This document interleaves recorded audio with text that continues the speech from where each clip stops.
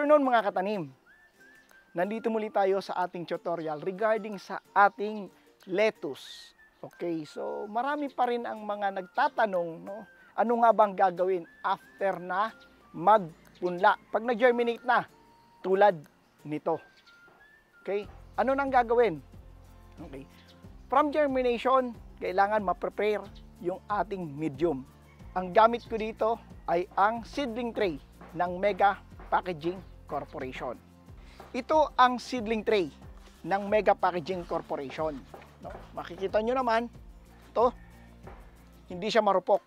Ang kagandahan dito mga katanim, no? kadalasan ang gamit nyo, ang gamit na nakikita ko mga post, ay yung seedling tray na malambot.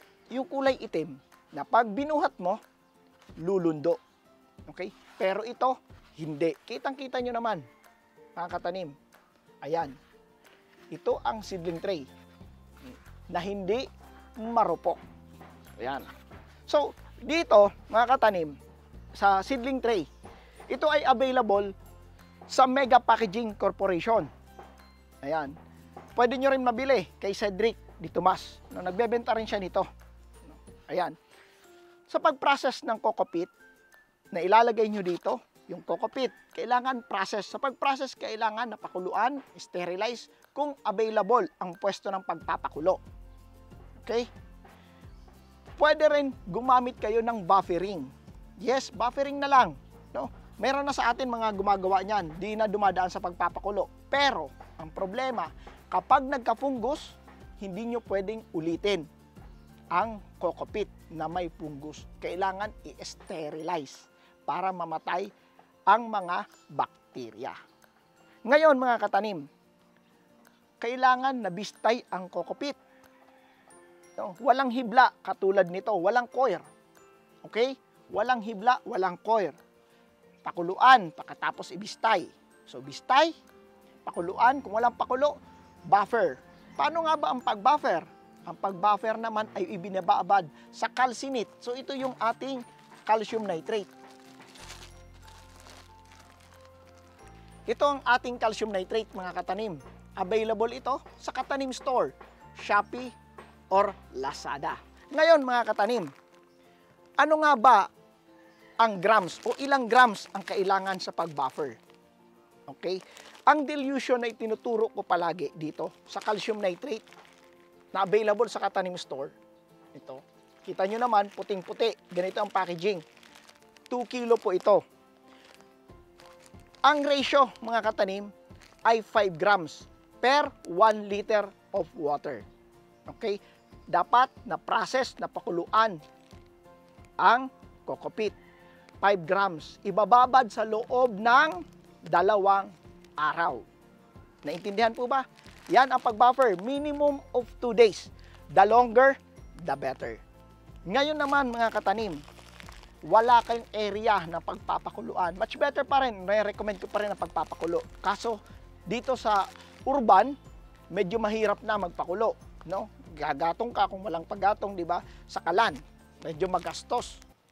Kay matrabaho, sabi ng iba, labor intensive. Papaano naman kapag buffering na diretso? Gumamit ka ng 15 grams nito, itong calcinate. 15 grams per 1 liter of water. Minimum of 15 days na nakababad. Medyo matagal. 15 days ang minimum. The longer, the better. Pero during the process of buffering, mga katanim, wag na wag ma-expose or open or ma-contaminate. Kailangan may takip. Ang tanong ng karamihan, babaho po ba kapag may buffer? Hindi. Basta maayos ang paglalagay nyo ng calcinate, hindi po siya babaho. Okay? Kapag gagamitin na, maglalagay ka na dito sa seedling tray ng Mega Packaging Corporation.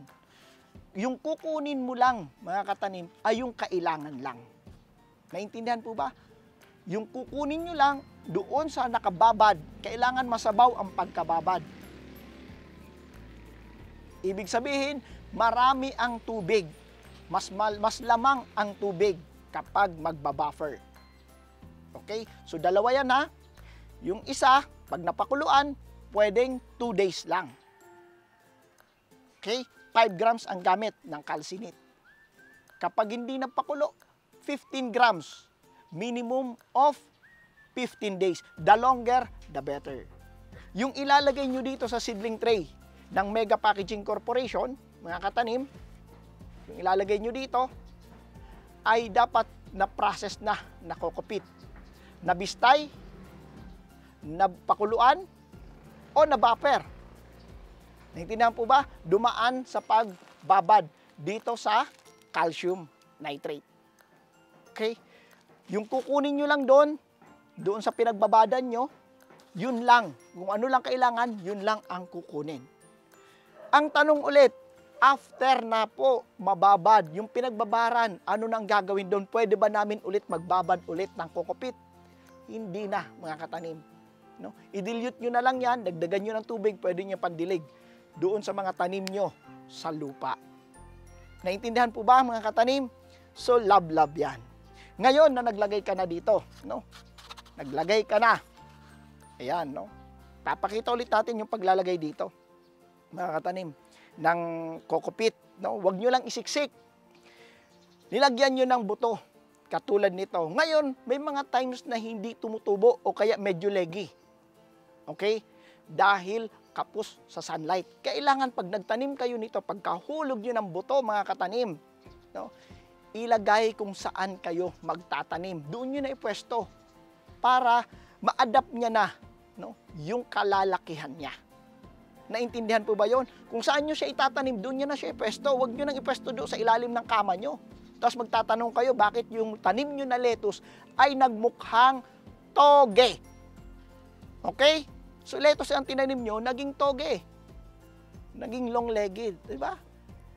Leggy na siya paarawan palagi. Now, after 4 days, mga katanim, after 4 days, ano nang gagawin? Kasi upon sowing, pag linagay mo yung kokopit dito, no? Pipigaan nyo ng konti, ilalagay sa seedling tray. Then, magbubutas kayo ng bahagya, saka ilalagay ang mga buto. After mailagay ang buto, i-sprayhan lang ng tubig. Tubig lang.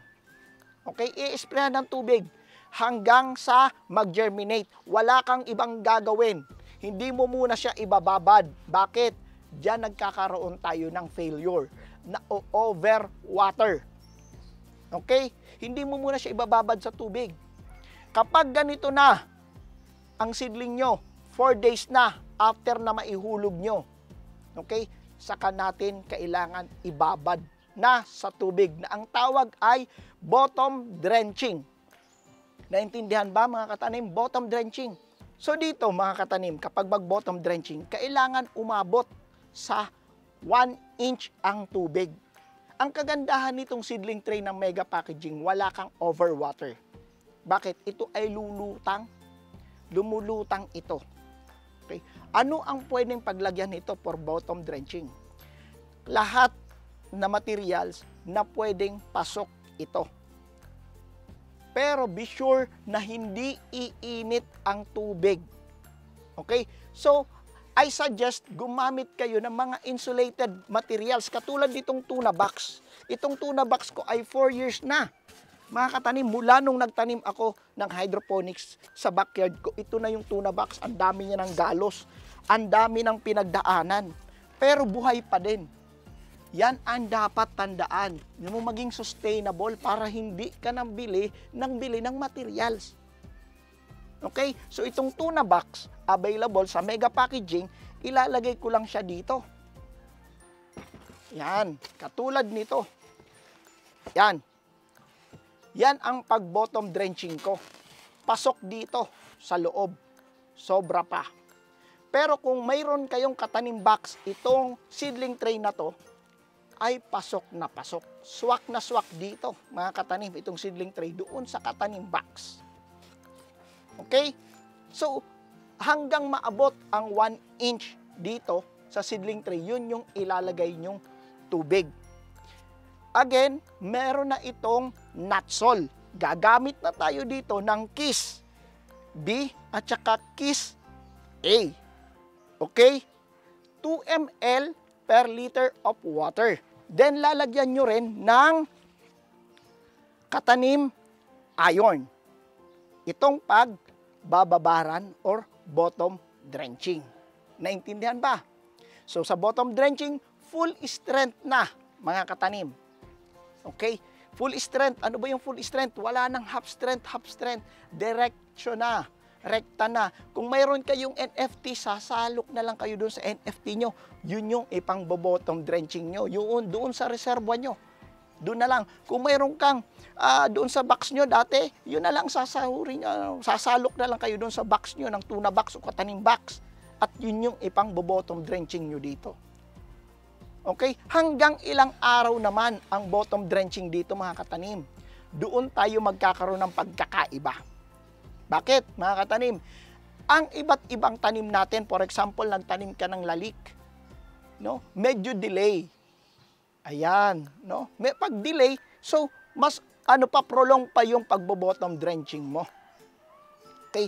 Kapag naman e almeti, baka after 7 days nito mula nung linagay mo siya dito, no? Or 12 days from the time of sowing. After 12 days, mga katanim, kapag maganda ang grow, again, magkakaiba-iba ulit. Because of environment, no? Kapag maulan, no, medyo delay. Ibig sabihin, sa variety, magkakaiba na. Okay? Sa panahon or environment natin, iba na ulit. No? Yan yung mga reason eh, bakit minsan makulimlim, no? less sunlight, so hindi mo pa pwede i-transplant. So, paano katanim? Ano bang basehan na pwede na i-transplant? Okay, dito mga katanim, kapag mayroon ng apat na dahon, so, so ito mga katanim, dalawa pa lang, no? lalabas pa lang yung true leaves niya, pangbabad pa lang talaga to. Okay, naintindihan? Pangbabad pa lang. No? Ibababad pa lang natin bottom drenching kasi mga ilangan na siya ng nutrients with KISS na A and B. Okay? With iron. Okay, now, may magtatanong, kapag linagyan ba itong mga katanim ng A and B at saka ng iron, kailangan ba ayusin ang pH? Yes. No? Ang kalimitan ng gamit natin na pH ng tubig, no? yung tubig na gamit natin, mataas ang pH nun. So, mga ilangan ka dito ng pH. Meron tayo sa katanim store, 500 ml, at saka meron tayong 1 liter, at mayroong 4 liters. Available yan Shopee or Lazada sa Katanim Store. Aayusin natin ang pH. Much better maayos nga rin ang EC or yung USCM.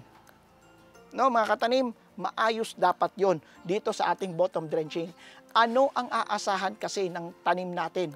Kundi yung nutrients na nandito sa pinagbababadan natin. No? I recommend mga katanim na gumamit ka ng KISS nutrient solution. No? Gumamit ka ng katanim products na iron at pH down. Okay? Meron tayo nitong combo, mga katanim, sa mga mag start Meron tayong combo. Ibig sabihin, makakabili ka ng pH down 1 liter, iron 1 liter, kasama na yung KISS na A and B na 1 liter. Combo na sila, magkakasama silang apat. Okay? Para isa na lang ang shipment fee. Okay? So, yon mga katanim. Now, upon transplant, o kapag magta-transplant ka, well, dito sa ano na to, sa idea na to, no, kapag magtatanim ka dito, ang kagandahan nito, hindi malawak ang space na nasasakop nitong kapag may seedling tray. Pero kapag nag-direct sowing kayo, mga katanim, kapag nag-direct sowing kayo dito sa cups ng Mega Packaging Corporation. Again, itong cups ng Mega Packaging Corporation ay available sa Mega Packaging. Available din kay Cedric Di Tomas. Okay. Itong cups na to, ayan, ito siya. Ilalagay nyo lang dito sa loob nito. Ayan, pwede nyo tong igilid. Pwede kayong mag-direct sowing dito. Ayan.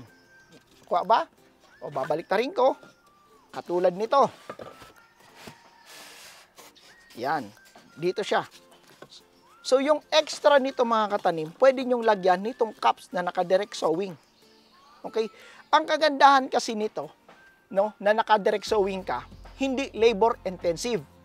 Ibig sabihin, wala ka ng labor ng pagta-transplant. Direct sowing, same lang. Lalagyan nyo lang ng kokopit, no? Yung galing sa pag-buffer, wag isiksik, butasan sa gitna, ihulog ang buto, esprehan. After 4 days, sa kalagyan ng bottom drenching ng mayroong KISS A and B plus iron at ayusin ang pH using the katanim pH down. Okay? Ayan. So lalagyan nyo ng iron na. Ito ang iron natin mga katanim. Ngayon mga katanim, dito wala ka ng transplanting. Dito sa cup. Ang problem lang nito, no? Ang problem lang nito mga katanim, it occupies a lot of space. Pero hindi labor intensive. Nakuha po ba? Hindi siya labor intensive. Yun nga lang, it occupies space. Again, mabibili nyo to sa Mega Packaging Corporation. Ano? Kung dito kayo Metro Manila, pwede nyo puntahan. MPC Tagig ang waste niya. Mega Packaging Corporation. Tagig. Okay? So, ito. No? Siya nga pala, mga katanim. No? Malimit ang mga edad natin, mga ganitong edad natin, tayo lang nagtatanim. Paano na yung mga estudyante? So that's why si Mega Packaging ay meron nito. Meron nitong tawag niya ay half hydro. Okay? Half hydro. Kasintangkad siya ng tuna box, pero mas maliit siya ng konti sa katanim box. Lima ang butas. Ayan mga katanim, no, close up. Ganyan siya. Lima ang butas. Now, sa atin mga ano, mga katanim, tayo nagtatanim dito. Minsan isama natin yung mga anak natin. No? Isabay natin, isama natin sa pagtatanim. Okay? Love-love kasi yan. Anyway, now, ito mga katanim, yan, dahil nagtuturo tayo sa mga estudyante. Ayan, ganyan dapat. No? Sa mga estudyante sa mga schools, half hydro. Mga katanim, ito yung ipagamit natin. No? Let them grow their own foods. Yan mga katanim, turuan natin. Gumamit tayo nito na half hydro. So yun mga katanim na i-ano natin, i-recruit natin, no? isali natin sa pagtatanim yung ating mga kabataan. No? Para love-love yan. Okay? So this time, mga katanim, so this time, lalagyan na natin to ng A and B na kiss at saka iron. Aayusin natin ang electronic conductivity o USCM plus pH, mga katanim. Okay? So, yan, tara, samahan nyo ako. So, dito sa mga medyo malalaki ang farm, mga katanim, meron na tayong 5 liter set. Ayan, ito yung 5 liter set. Kasama niya yung uh, magnesium sulfate. Ito, ganitong ganitong packaging natin at saka ito yung ating calcium nitrate. Ayan. Yung, kung medyo malaki ng taniman mo, mga katanim, ito na ang kuhain. No? Ayan. Napakasimple. Bakit? Tutunawin nyo lang to sa 5 liters of water. Okay? After matunaw, meron ka ng A and B na more than or more than 5 liters or almost 6 liters. Okay? So, ito available din ito sa Katanim Store, Shopee or Lazada. So, 5 liter set. So, ito yon. Ganito siya. Okay? Ito yon. Almost 6 liters na ang maano nyo nito. Pero ang presyo sa 5 liters lang. No, mas mura pa to doon sa ibang market na, well, kayo na po ang makapag, ano, sabi niyan, no? At saka maganda ang result, no? Yan lang may encourage ko sa inyo. Now, lagyan natin to ng tubig.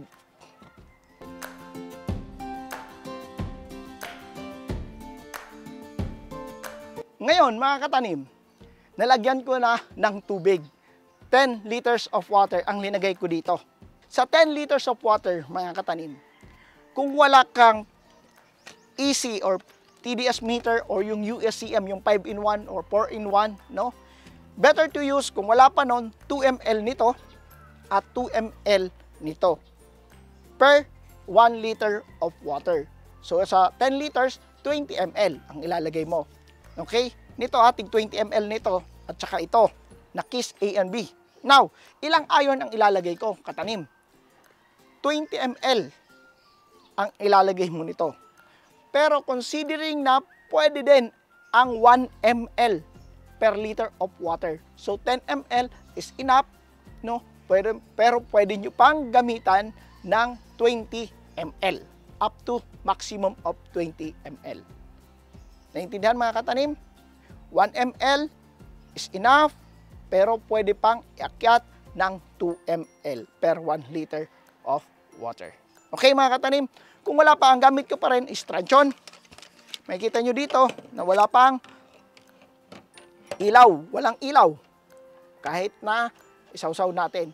Kapag lilagyan natin, dapat equal amount mga katanim ha. Equal amount nung A and B natin ang ilalagay.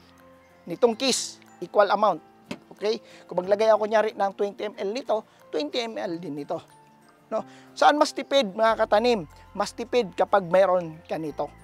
Kasi ang sabi lang natin, 1.6 EC maximum na para sa ating lettuce. Okay? 1.2, ang range natin ay 1.2 hanggang 1.6. So, kapag gumamit ka nito mga katanim na EC meter or yung ating uh, USCM, yung 5 in 1 or 4 in 1, mas tipid pa. No? Bakit? Kasi ang range natin sa 1.2 to 1.6, baka mahit natin yon in just using of 14 ml to 16 ml of both KISS A and B. Pero kung wala pa 2 ml, so sa 10 liters of water, 20 ml, mga katanim. Okay? So yon. Huwag kakalimutan ang iron na, mga katanim. So lagyan natin ng A and B ito. Sa paggamit nito mga katanim, dapat separate yung ating pang takal. Okay? So ito, unahin ko yung A. Huwag niyong pagsasabayin. Haluin maigi ha. Kasi concentrated yan. Okay? So ito ang lalagay ko. No? Hmm. So, haluin muna. Okay? After mahalo, sa kanyo ilalagay yung isa. So ang inuna ko A, alin man sa dalawang pwede nyong unahin. After mahalo, lagay nyo ang B.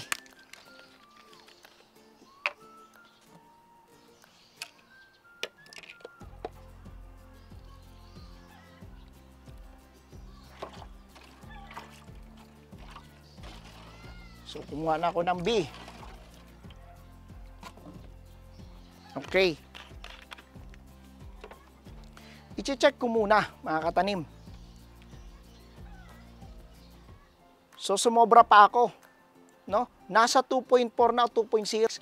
Ngayon mga katanim, sumobra. Ano ang gagawin? Ayan. No? Anong gagawin sobra? Kapag sobra ang lagay mo na nutrient solution, yun yung sabi ko. Kapag sinunod mo yung 2 ml A at saka 2 ml B, so sobra pa yan. Pero mo nasa 2.4. Oh, 2.4 easy. No? So sobra. Kaya mas makakatipid ka kung mayroon ka nito baka nga ano lang 14 ml hindi 20 ml. Okay, so ang lilagay natin 20 tig 20 ml. Sobra nga. Ayan. So anong gagawin dito? Kailangan natin maglagay ng tubig additional, no? Water. So dagdagan natin ng tubig lang. Yun na mga katanim ha. Tatandaan, bakit 1.6 sa akin, 1.2 to 1.6? I-check muna yung tubig, no? Dapat ang nutrient solution na nilagay mo itong kiss ay on top, no? On top doon sa sa water nyo. Iba yung water nyo kung may water kayo na 300. For example, no? Uh, 3, 300 USCM. So alam nyo na magiging USCM nyo. No? Maga 1,900. Okay? So ang 1.6 equivalent niya sa USCM ay 1.6. Okay, kung may 300 USCM, i-add na lang. Maging 1.9 USCM. So magdagdag tayo ng tubig. Ayan. Haluin natin. Then, check natin. Okay, 1.4 ang easy niya mga katanim. Nakita ba? 1.4 easy. Okay? Ang range natin mga katanim ay 1.2 hanggang 1.6. Ang tubig na gamit ko dito ay walang ano ng easy. Kung mayroon USCM, no, meron kayong met ano no na USCM yun ang gamitin. Ayan, No, again, kaya nga sabi ko, mas makakatipid ka, kayo kapag mayroon kayong metro. Okay, mga katanim, pwede rin kayo mag-mix sa timba o sa ibang container ng A and B nitong ating kiss, no, na A and B, and then saka i-check. Now mga katanim, na, na naayos ko na yung level, magdadagdag ako ng iron. Again, 1 ml nitong katanim iron per liter of water. So pwede kong ilagay ay 10 ml. Up to 20 ml naman ito mga katanim. Yung iron natin mga katanim, no? Remind ko lang kayo, yung iron natin ay hindi basta iron lang. No? Kasama dito ang growth booster. So, you don't need to purchase other bottle of growth booster, no? Nandito na sa iron natin. Kasama na dito. Kaya kung magpo-full year kayo, KISS, A and B, kasama na yung iron, okay yon. Kung mayroon kayong katanim seaweeds extract, pwede din. No, kaya nga ang iba sa reservoir na lang kumukuha na may kasama nitong katanim iron. Okay? So, may growth booster kasi to mga katanim. Di lang basta iron yan. No? Okay, so ayan, haluin natin. After that, i-check natin itong pH. So, doon sa meter nyo na 4 in 1 or 5 in 1, meron na yung pH meter. Isa-set nyo lang pang pH, then dapat ang pH natin nito ay 6.1. Tandaan na, 6.1 ang pH natin. So dito mga katanim, no, kailangan maayos ang pH natin kasi diyan tayo aasa, no? Kung ano yung ma-absorb niya, no? At saka nasa sweet spot kapag nasa 6.1. Tatandaan 'yan. So 6.9. So again, magdadagdag ako nitong katanim pH down. Okay? So gagamitin ko dito itong 500 ml. Meron tayo nito 500 ml, no? Shopee or Lazada. Okay? Kunting-kunti lang ilalagay ko katanim ha kasi masyadong mat, ano to, potent. No? Kunting-kunti lang. Masyadong potent ito, baka mag-ano lang yan. Bumagsak ng ng sobra. Okay? So ayan na, ganyan muna. Okay? Haluin natin. Dahan-dahan ang pagano. Kapag sumobra naman mga katanim sa pH, anong gagawin? No? Ayan, pwede kayo magdagdag ng tubig lang, mga katanim. Mataas ang pH ng tubig natin. Okay? So ito na, check natin ang pH. 6.2. Hmm, nakita ba? 6.2 mga katanim. 6.1. 6.0. Hmm. Okay? So, paano yan katanim? 6.0. Okay na yan. Pero, much better kung kaya kakayanin sa 6.1, okay yan. So, okay na. Naayos na natin. Mayroon ng KISS A and B. Nalagay na natin. Linagyan natin nung katanim iron. Okay? Then, linagyan na natin itong katanim pH down para maayos ang pH. Okay? This time, ilalagay na natin yung ating uh, seedling no dito sa sa ano uh, seedling tray ng mega packaging. Again, this is 4 days mga katanim no. 4 days mula nung inihulog ko yung seeds. Okay, so 4 days, ayan, kailangan na niya ng bottom drenching. Hanggang anong ilang araw? Hanggang 12 days. Kasi ang haba na ng ugat niyan. Okay? Kapag kiss ang gamit nyo, masyadong mabilis paghaba ng ugat. Basta paarawan lang, mga katanim, no? Kailangan may sunlight. Okay? Without sunlight, madidelay yung progress ng ating seedling. Again, may mga questions. Papaano naman ito katanim ngayon? Ang daming lumot. Okay? Ang daming lumot. Kapag exposed talaga sa sunlight, yung tubig, may area na ganyan, oh, na open. Yan, may, dito may area na open dito. So kapag exposed yan, yan mga katanim, no, magkakaroon talaga ng lumot. Okay? Oh, kaya much better kung mayroon kayong katanim box o mas small boxes na kasya itong seedling tray ng mega packaging, pwedeng gamitin. So ayan na, mayroon na siyang capillary action. Okay, naging brown na siya, naging dark brown na. Kanina light brown, ngayon naging dark brown na. Napansin ba kanina? Ayan mga katanim ha. So, itong video na to mga katanim, paki-share sa lahat para matuto. So ito mga katanim na pagbaba dito, ang tawag dito ay bottom drenching. May full strength na. No need na mag half strength, basta kiss ang gamit nyo. Okay, so I encourage you mga katanim, mag-join kayo doon sa ating very interactive uh, group, no? Itong uh, Katanim Modern Agriculture. Ayan, no? So shoutout nga pala sa ating pinakamamahal na Mega Packaging Corporation. Love love 'yan. Itong mga liquid natin mga katanim nasa harap ko ay available sa Katanim Store, Shopee or Lazada. Itong Kiss A and B, no? Mayroong 500, mayroong 1 liter. Wala po tayong 4 liters. Bakit? Mas makakatipid po kayo mga katanim dito sa 5 liter set. Nung available ito sa Katanim Store, tuturuan ko kayo makatipid dito mga katanim. Okay? Sa 5 liter set. Shopee or Lazada, available yan. Ito yung ating calcinate na kasama niyan. Okay? So yan mga katanim ha. No. Aantayin ko kayo doon sa ating group sa Katanim Modern Agriculture. Kung mayroon man kayong problema, pwede kayo mag-chat sa akin. Ako po ay sumasagot. No? Handang tumulong sa inyo. Love, love yan mga katanim.